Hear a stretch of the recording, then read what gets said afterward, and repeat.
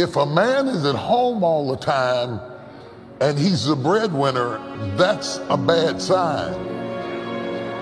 And the problem with being a father is you can never get it 100. If I give you time, we don't have money. If I get the money, you don't have me. I can't be there and earn a living at the same time. I'm limited.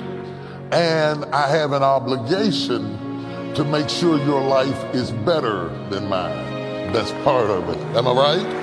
The difficult thing about being a father is that everybody wants it now. The kid wants it now. The wife wants it now. The job wants it now. The opportunity is now because in your early years are your earning years.